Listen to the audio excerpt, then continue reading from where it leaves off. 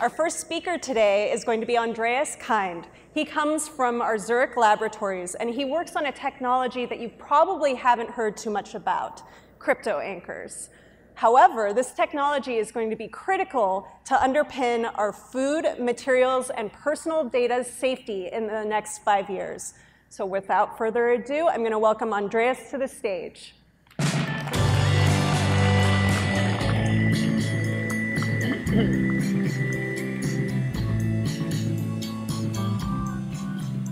I brought something for you, something really heavy and something shiny, so you can see it also from the very last row. Flown in straight from Switzerland, airport security asked me, is this real? And I said, sure it is. You also might wonder if it's real, and you have good reasons to ask. From cinnamon to footwear, from headphones to boiled eggs, almost everything has been copied. The total value of counterfeit goods was estimated in 2015 to be $1.8 trillion. And it's not just the Gucci bags and polo shirts.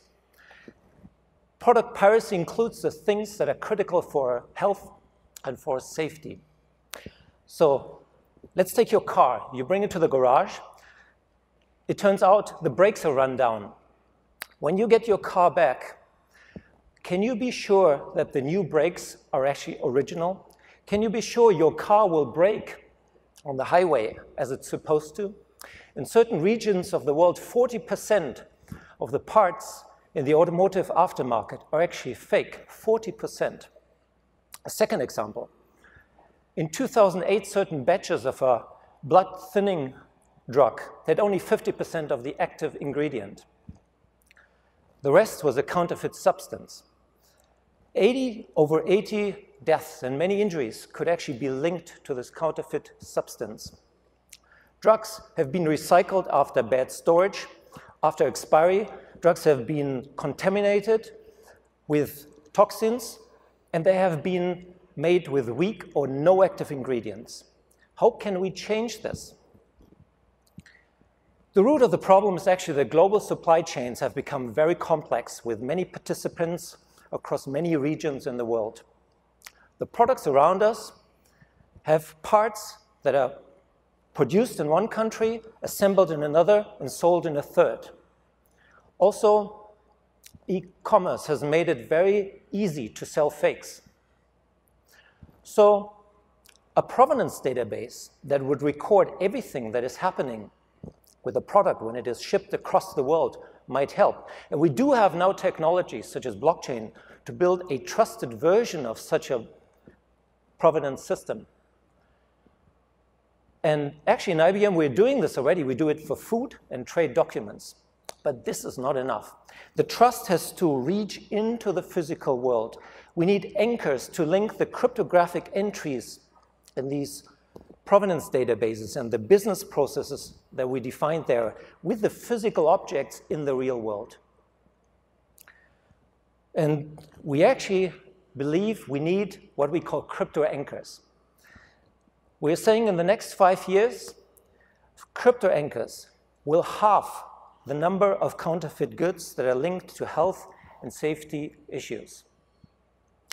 So now, I'm a computer scientist. I like to open Emacs, write some code, uh, write a program, make it bigger, rewrite it again, eventually turns into a system that does something uh, with the world or compute something about the world we're living in. But somehow it will always stay on the other side, in the digital world. And so do most IT systems. They live in the realm of the digital world. They take something digital and they return something digital. But now Gucci bags and polo shirts, they exist in the real world. And so does my French colleague, Emmanuel. He's a technologist, and he has this serious look on his face when he talks about chemistry and bioscience. Together, we work on these kind of things that you see on the display. This is actually a crypto anchor embedded in the paper of a malaria test. The code that you see here is made of ink dots deposited on, a, on micropillars. When serum is attached to the paper, the test is applied, is performed, but at the same time, a first code is washed away and a second, initially hidden code is visible.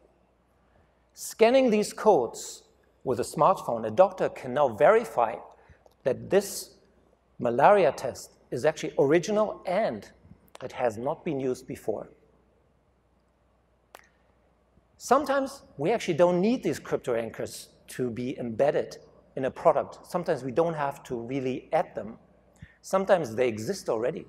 Think about a rice corn, a sheet of paper, or this gold bar. The DNA in the rice corn, the weaving in the paper, or the molding of this gold bar is highly unique and cannot be cloned.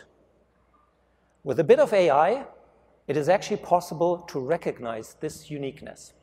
So now you wonder, is this gold bar indeed real? Well, that's for the blockchain to know and for you to find out. Thank you very much.